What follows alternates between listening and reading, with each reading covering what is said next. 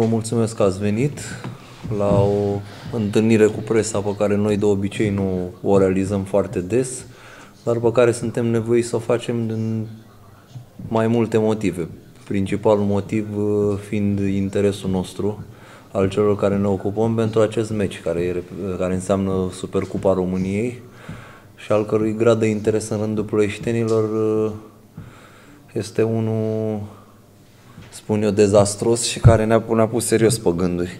Mai ales că de aproximativ o lună de zile, mai exact imediat după finala cupei, am fost preocupați de această partidă, de organizarea ei și evident că am dorit să ne ridicăm la înălțimea așteptărilor tuturor și să ne menținem pe trendul cu care am obișnuit lumea, adică o prezență numerică bună, un spectacol de tribună, zic eu, decent, spre bun. Din păcate, la această partidă suntem departe de ceea ce dorim să facem. Ce pot să vă spun la momentul actual e că uh, însuși realizarea de, de tribună suferă, suferă concret și suntem chiar în pericol să renunțăm la spectacolul care l-am pregătit pentru această partidă și în care am investit uh, o sumă destul de importantă de bani. Am stat și m-am gândit mai mult timp, dar din nefericire n-am găsit nicio explicație concretă la această lipsă de interes pentru această partidă, uh, mai ales uh, că echipa a realizat o mare performanță, Supercupa României, Uh, eu zic că s-a prezentat destul de bine și la partidele din uh, Slovenia, amicale, iar lucrurile la club zic că sunt uh, cât de cât la un nivel constant. Nu există niciun prilej de îngrijorare sau niciun prilej să avem de-a face cu o asemenea crasă lipsă de interes. Probabil că dacă nu se vor schimba multe lucruri, însă noi mergem și noi după principiu că speranța moare ultima, ar trebui să spun ca o paranteză, ca să nu-mi pierd ideea, că termenul de mm, vânzare a biletelor la Ploiești s-a prelungit chiar până în ziua de miercuri, ziua uh, uh, Supercupei, ziua meciului pentru că, după cum bine să știa, duminica a fost anunțată inițial ca fiind ultima zi de comercializare a biletelor, s-a găsit înțelegere la București și până miercuri mai putem comercializa bilete. Marea problemă e și sper să o reglementăm cu ajutorul dumneavoastră, acest interes de care vă spuneam, adică practic avem pretenție de la Ploieșteni, de la Prahoveni, măcar o parte din ei, dintre cei care au susținut echipa la finala Cupei României, să fie prezenți la acest meci și să ajungem într-un număr decent, să nu ne facem de râs, pentru că sunt convins că nici adversarul poate nu se va ridica la nivelul, să zic, cu care ne-a obișnuit sau cu care sunt toți cei din fenomen obișnuiți, însă diferența la momentul actual este destul de mare în favoarea lor și asta datorită acestui, acestui fapt care a fost și amplificat, după cum bine știți, de anumite zvonuri deplasate ale unei părți a presei centrale care a acreditat ideea că în interiorul uh, suportelor ploieșteni au apărut uh, mai multe divergențe și că e pe cale să izbucnească un așa zis scandal. Deci fapt total neadevărat fapt total neadevărat, pentru că dacă un anumit grup de persoane a ales să organizeze, să încurajeze echipa din alt sector de tribună, asta nu înseamnă că uh, peluza e la un pas de conflict. Așa cum nu înseamnă pentru cei care încă să tem că dacă vor veni la București să încurajeze echipa, există vreun potențial risc la un meci cu Steaua, să nu uităm că nu în urmă cu foarte mult timp am mai jucat și în campionat la București, organizarea acolo, după cum se știe, este impecabilă așa cum este și stadionul și eu zic că temerile multora care nu vor să asiste la acest meci sunt total, uh, total neîndreptățite, așa cum total neîndreptățite sunt și cele care au acreditat ideea că suporterii sunt certați între ei. Nu, nu e nicio problemă, veți vedea că nu va fi nicio problemă.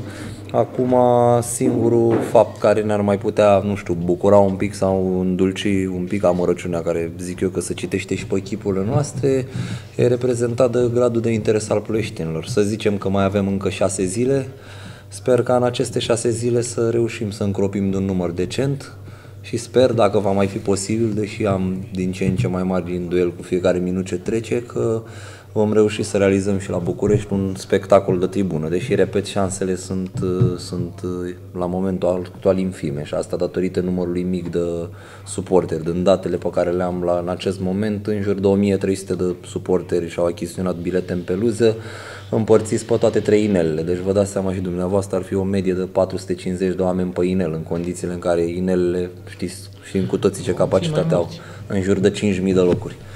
Deci, la momentul actual, singura rugăminte și uh, principalul scop pentru care uh, v-am am apelat la dumneavoastră și vă mulțumesc pentru prezență, este să reușim să, să ne trezim și să tratăm acest meci cum să cuvine, pentru că până la urmă e un meci cu trofeu pe masă și din câte cunosc eu un, un trofeu care petrolului lipsește de palmares sub această denumire, Supercupa României.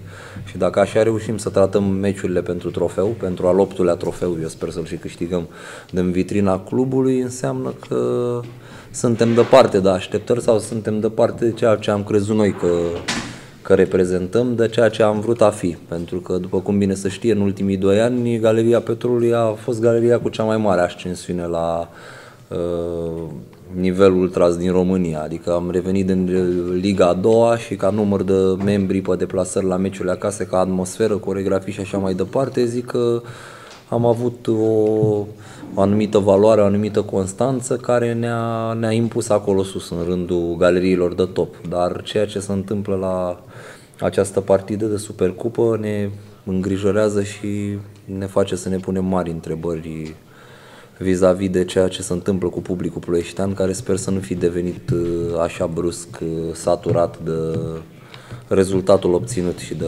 clasarea în cupele europene după aproape două decenii. Dacă aveți întrebări.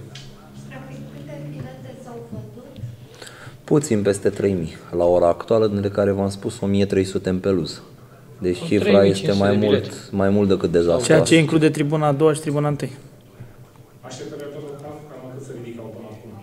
Nu, așteptările noastre, având în vedere că am fost aproape 30 de mii, 8 mii era cea mai, uh, cea mai pesimistă varianta noastră, 8 mii. Bine, și totul să sperăm că putem realiza, mai sunt încă 5 zile.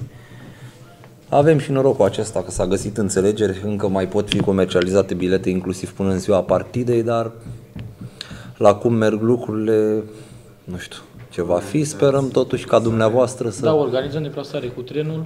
Da, deplasare... La ora 4 jumate la Garea de Sud. Îi vom aștepta pe toți sporterii. Iar la ora 5 trenul va pleca spre București. Deci nu va fi absolut nicio problemă de genul să fie vreun scandal sau Deci aici pe... vorbim strict de deplasarea organizată. Organizată, în rest nu ne... Nu ne, nu ne amestecăm, dar și la această deplasare organizată... oricum, și la meciul din campionat cu Steaua n-a fost nicio problemă, nici la cupă n-a fost nicio problemă, a fost tot organizat. insistați cu treaba asta și probabil așa credeți voi că nu nu insistăm cu treaba asta, dar în momentul în care ajungi într-un blocuresc supraaglomerat cu mașină personală, principalul obiectiv al cărui om, șofer, suporter este să-și parcheze mașina într-un anumit loc pe care îl cunoaște sau nu-l cunoaște, în funcție de parcările disponibile. S-au spart mașini la... Sau... Câte sunt, câte au venit, evident că s-au mai și spart, dar uh, nu credeți că e proastă uh, programarea pe 10 iulie? Este, deci programarea este, dar uh, având în vedere meciurile din Europa League și din Champions League, Steaua joacă marți și Petrolul joacă joi, asta a fost. În ce cunoaștem, cluburile au încercat să modifice un pic data. Sunt convins că în weekend cât de prost Normal trebuia să joace vineri seara sau sâmbătă seara, dar nu s-a putut.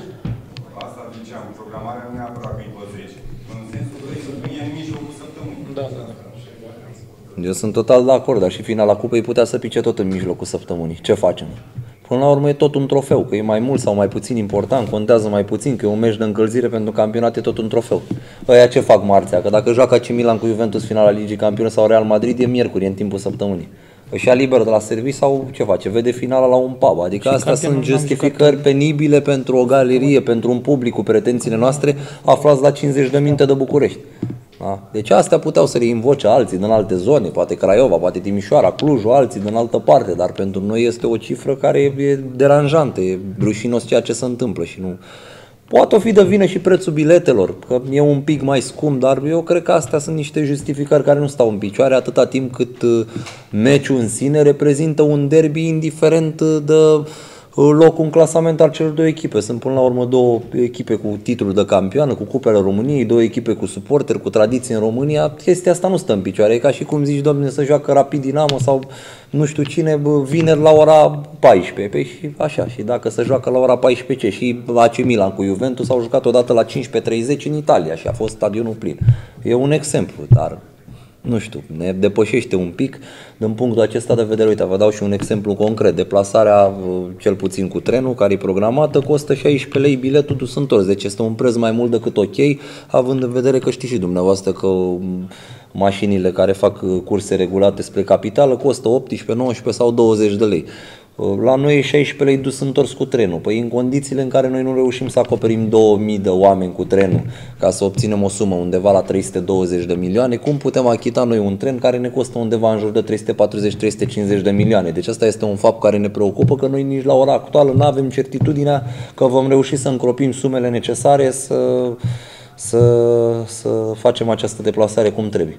Pentru că, practic, lumea are, are această posibilitate să facă 10 minute de la gara Obor la stadion, iar 10 minute la întoarcere, să urce într-un tren în, uh, plătind un quantum de 16 lei care v-am explicat e mai mult decât rezonabil. Și va merge în siguranță, nu va fi nicio problemă. Siguranță este un cordon, uh, cum să zic, de, uh, un cordon care va fi, cum să zic, păzit de forțele de ordine. Deci sunt toate condițiile, toate premisele să faci o deplasare ok din toate punctele de vedere, să nu vii cu mașina, să cauți locuri de parcare, să nu știi unde să parchezi, să fii separat de grup, poate vii cu familia, cu copiii și ce domnule, hai să găsesc un loc de parcare, că să știe că zona Pantelimon e o zonă destul de aglomerată la acele ori. Deci, din punctul nostru de vedere, cât s-a putut face, s-a făcut. Dacă exista posibilitatea și era interes, puteam să luăm nu un tren care să ducă 2000-3000 de inși, puteam să luăm și patru trenuri și la final la cupe am avut posibilitatea asta să ducem 12.000 de oameni cu trenul, am renunțat la trenuri și până la urmă pe două trenuri care aveau o capacitate de 6-7.000 de oameni, au mers 4.000 de oameni. Ok, am înțeles, a fost meci lejer cu CFR Cluj, s-a dus lumea mai devreme în București, a băut, a mâncat, a vizitat centru vechi, Acum iarăși aceeași problemă, adică noi am încercat să acoperim toate segmentele care trebuie să acopere o galerie să consideră organizată. Am mediatizat cât am putut, mai mult sau mai puțin, ne-ați mai ajutat și dumneavoastră cei care ne-ați ajutat. Am încercat să încropim și, do- și am și reușit. Păcat, sper să nu fie aruncat bani într-o gaură neagră, să încropim de o coregrafie care zic eu era destul de decentă pentru un asemenea meci.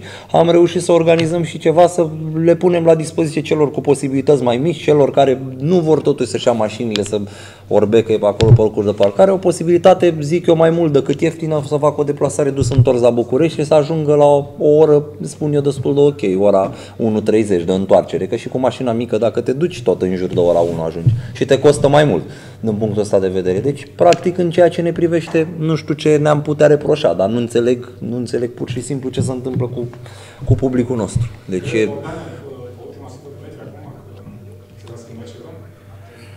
Posibilitatea ar fi, da, depinde de mobilizare. Adică dacă oamenii vor, până la urmă pot veni și în ultimele zile să achiziționeze pachetele sau să achiziționeze biletele la liber și putem fi chiar 7 mii. Acum de, totul depinde de publicul plăieștean și prahovean. Și de reținut ce ar mai fi că parcarea la Național Arena este închisă în ziua meciului.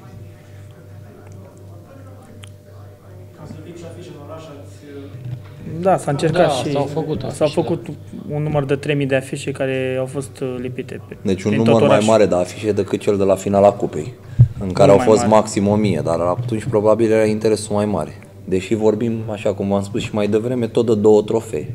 Deci e inexplicabil ce se întâmplă. Eram convins că miercurea nu va mai fi boom care a fost atunci, dar v-am zis, 8-9 mii era cea mai pesimistă ex- e- estimarea noastră în condițiile în care în campionat la o oră mult mai târzie am fost 3000 în sectorul acela de sus și alți 3000 pe stadion, la un simplu meci de campionat lunea, programat lunea, atenție mare și la o Și oră fără miză. mult mai târzie și până la urmă fără nicio miză. Steaua era distanțată în, înspre titlul de campioană de mult timp și, și atunci am fost 3000 cu 3000 pe restul stadionului, 6000 de oameni și acum să constați că sau să te rogi să ajungi măcar la aceeași cifră, deci e dezastros, e dezastros tot ce se întâmplă. V-am spus, 1300 să împarți la 3 sectoare de tribună, practic ne-a dat peste cap tot.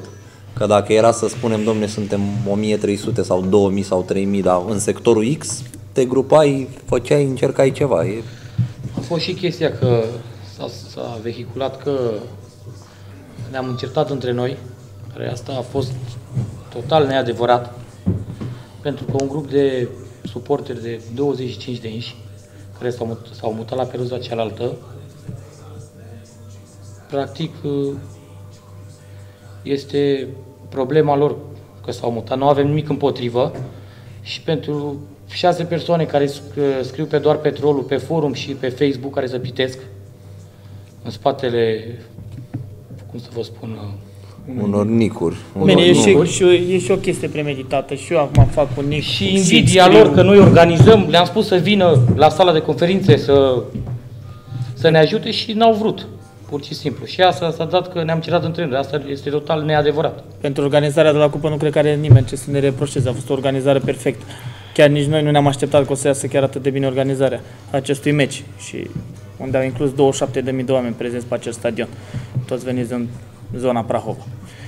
Și am Dar făcut tot, am făcut tot ce ne-a dat în putere. Noi de aici, de la masă și cu, și cu și un mai grup fost de 20 de băieți care, care pur și simplu ne-am chinuit și ne-am zbătut să fie tot ok și a fost ok. Deci au fost zile în care Toată am, lumea ne-a, ne felicitat. Au fost zile în care am muncit de dimineața până seara, dar toți am muncit pentru cu același scop, pentru câștigarea cupei. Chiar dacă am stat de la 8 dimineața aici până la 10 seara, a fost o muncă. Dar acum ideea e cu cei care scriu e un interes aparte, eu unul nu-l înțeleg și nu înțeleg de ce se scrie și eu, un număr limitat de persoane, de șapte ori persoane care scriu aceleași chestii, se repetă, că ce s-a întâmplat, ce nu s-a întâmplat, că ce se întâmplă cu galeria, ce se întâmplă cu galeria, eu, eu cred și părerea mea și nu numai părerea mea, galeria momentul de echipei față, FC Petrol Ploiești niciodată nu a arătat cum arată acum. Și e, momen, e momentul, e moment, adevăr, dar nu arăta niciodată. Poftiți?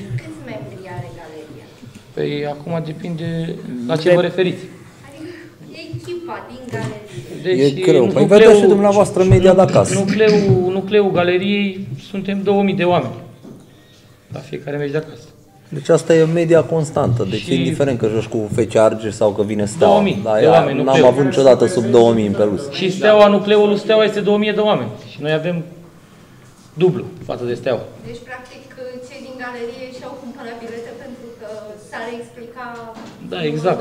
Și asta ne-a și așteptat și la chiar fie... toți. Și asta ne-a și așteptat la fiecare meci de acasă suntem 7000 de, de spectatori și ne așteptam ca, ca la Supercupă să fie aceiași oameni care au abonamente și care vin la meciurile de acasă. Și vedem că nu... Că fi perioada de concedii. Așteptări prea mari. Da, am avut așteptări prea mari. Dar nu... Din 10 iulie Multă lume este în vacanță, este, da, da, da, exact. Meciul este foarte târziu, lumea este la serviciu. Da, dar e vacanța asta foarte mare, de la 30 de mii până la, de la 30 de mii până la 3 mii, o diferență destul de foarte, foarte mare.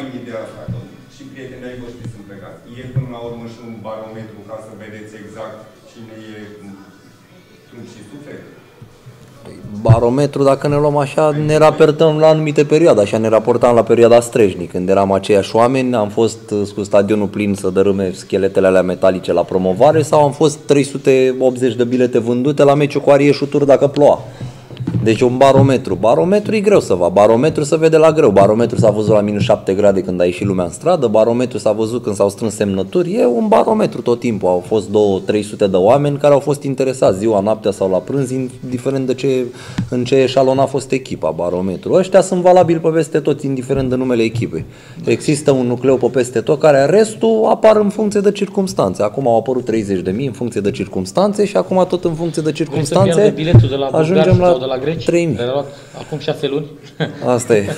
Văd că voi vă răspundeți singur la întrebare, adică nu renunță, nu la chestii, deși Îți dai seama că nu renunță. Eu aș renunța, dar colegii mei ar renunța, dar altă lume nu a renunțat. E totul și de performanță. Dar